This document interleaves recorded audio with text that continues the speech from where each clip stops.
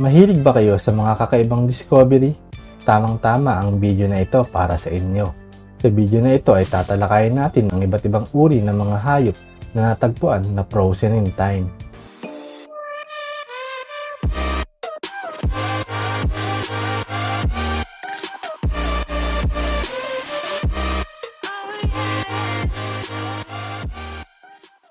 So hello guys, what's up?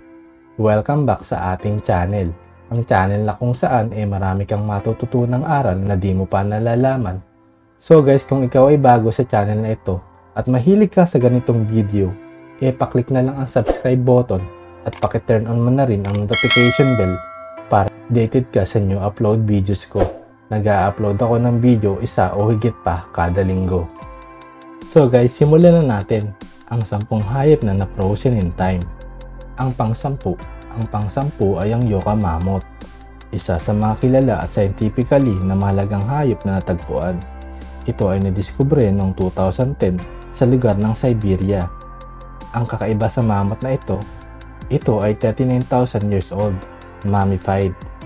At ito ang pinaka-mummified na mammoth na intact ang brain na natagpuan na merong buo na blood vessel at visible.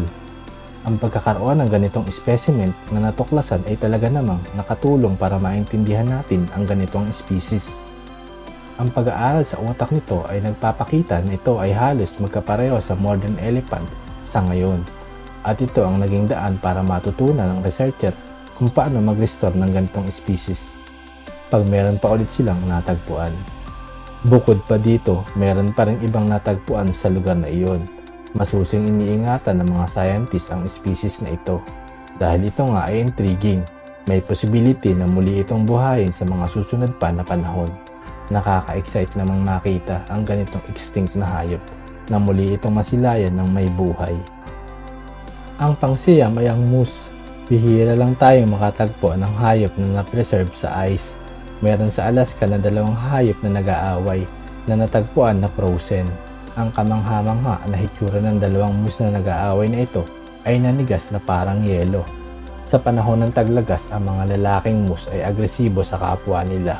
Merong mga moose na lalaki nagpapapansin sa mga babaeng moose o ang iba naman ay nag-aagawan sa kanilang teritoryo. Posibleng ang dalawang moose na ito ay nalunod sa malamig na ilog at hindi na naalis ang kanilang mga sungay sa pagkakasabit hanggang sila ay naabutan na nga ng pagkakaprosen sa ilog. At ito nga ay natagpuan ng mga tao at inalis sila sa pagkakaprosen nila sa tubig. Hanggang sa ngayon ito ay nakapreserve pa rin. Ang pangwalo, ang pangwalo ay ang isda o tinatawag nating fish.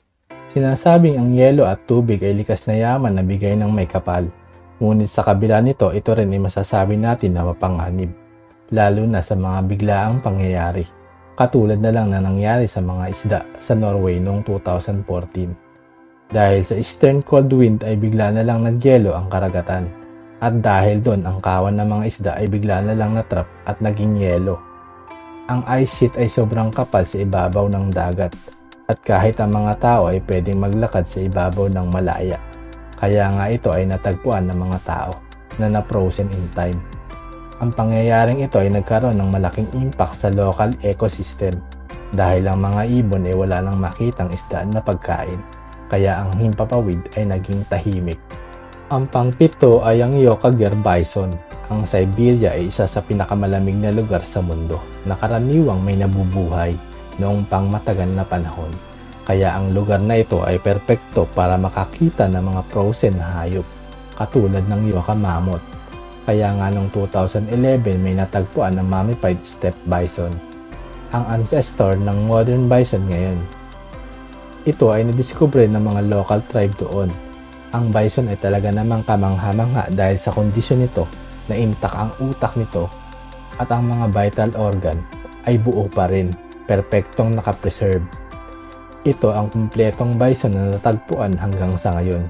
Kaya nga ang mga scientists ay nagkaroon ng pagkakataon na mapag-aralang mabuti ang utak, puso nito, digestive system at blood vessels. Dahil nga nalaman ng mga scientists na kulang sa taba ang tiyan nito, sinasabing ito'y namatay dahil sa gutom. Dahil sa lugar na iyon, ang panahon noon ay mabilis magpabago-bago. Ang pang-anim, ang pang-anim ay ang Silurican Pony. Noong 1968, ang mga gold miner ay naghukay na umabot sa 30 feet sa lugar ng Indergirka River sa Siberia.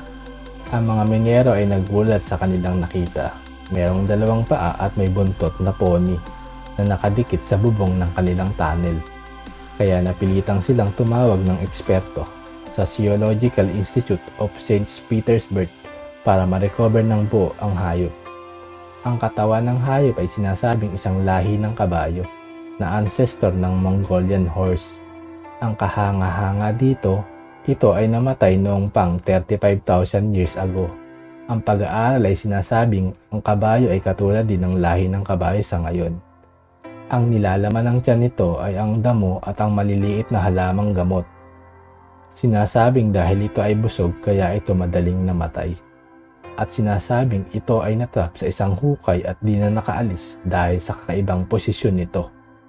Ang panglima, ang panglima ay ang Pulima woolly rhinoceros.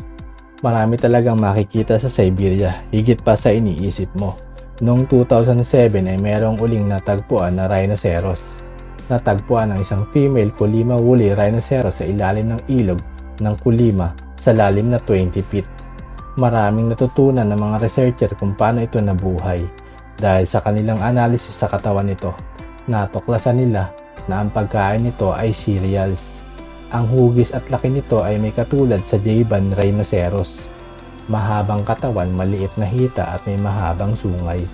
Makapal na balat at santaklot. May bigat na 1.5 tons. Sinasabing kaya ito naging extinct ay dahil hindi nila agad na iangkop ang kanilang katawan sa panahon.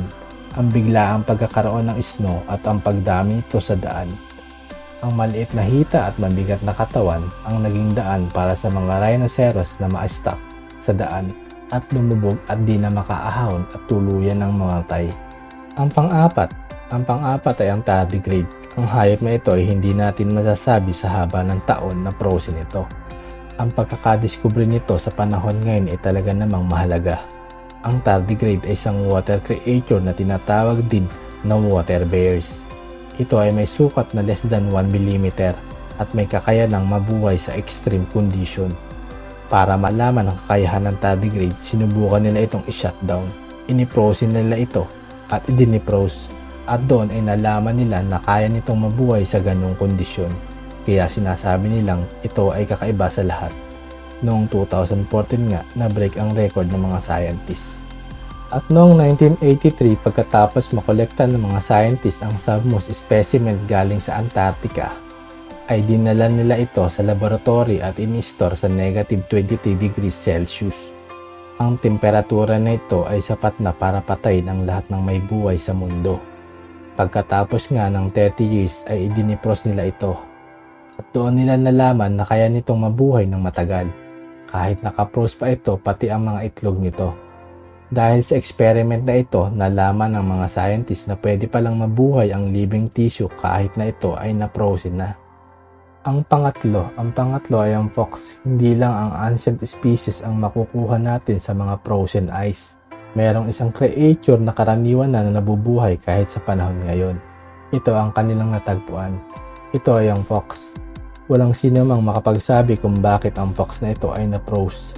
Ito ay nangyari noong panahon na ang di naasahang pagdating ng extreme weather. Kaya yung mga hayop ay natrap sa ganitong pangyayari. Katulad sa German noong panahon ng winter, merong isang German hunter ang nakatagpo ng isang frozen fox sa Danube River. Ang ganitong klaseng hayop ay madalas makita sa mga yelo. Ang pangalawa, ang pangalawa ay ang Tomat Puppy isang probinsya sa Sakta Republic of Russia sa Tomat na nababalutan ng ice flows. Noong 2015 sa di inaasahan ay nadiskubre nga ang isang tomat puppy na sinasabing ito ay matagal na lahi ng aso na extinct na nabuhay noong 12,000 years ago. Nasurpresa ang mga scientists dahil sa perpektong hitsura at kalagayan ng katawan nito. Ang utak nito ay buo pa rin at ang 70 to 80% ng body nito ay intact pa rin. Sinasabing ito ay may kinalaman sa Tomat Dog, isang creature na Tomat Dog na natagpuan din noong 2011 na mayroong kaugnayan sa mga taong nabubuhay noon na malapit sa ilog. Ang pagkakatuklas ng dalawang species na ito ay malaking tulong para malaman natin ang kanilang kondisyon at ang pagkain nila noon. At posibleng pwede pa nating buhayin at makita sila ng buhay sa panahon ngayon. At magkakaroon na rin tayo ng prehistoric puppies. So guys, alam mo ba ang number 1? Ang number 1 ay ang cave lion. So guys, balik ulit tayo sa permafrost ng Siberia. Ngayon sa Yakutia Republic. Pagkatapos aliksikin ang malaking lugar ng yelo ang mga tao ay dumedepende lamang sa mga fossil ng Eurasian cave lions. Ngunit dahil sa dalawang cave lions na diskubre na posibleng kambal na lion, itong cave lion na ito ay kakaiba sa lahat na natagpuan dahil ito ay nasa perpektong kalagayan kahit na ito ay nabuhay pa noong 30,000 years old. Sinasabing ang cubs ay namatay less than week old dahil ang bahay nila ay nag-collapse. Makikita na isa sa kanila ay nadaganan. Ang species na ito ay isang malaking layon na nabuhay sa mundo simula pa noon na may taas na 4 feet. Sila ay kumakain ng usa, kabayo, elephant mammoth sa lugar na iyon. Sa di malamang dahilan ang species na ito ay naging extinct. Ang cubs na ito ay masusing pinag-aralan bago pa ito ilagay sa exhibition ng mga hayop. So guys, hanggang dito na lamang ang ating kwento sa mga frozen in time na hayop. Ano po ang nagustuhan yung number ng hayop? At kung meron kang gustong ipakwento, eh maaari lamang pong pakicomment sa ibaba. Kung nagustuhan mo ang video na ito, eh pakibigyan naman ng thumbs like at pakishare na rin para sa kalaman ng iba.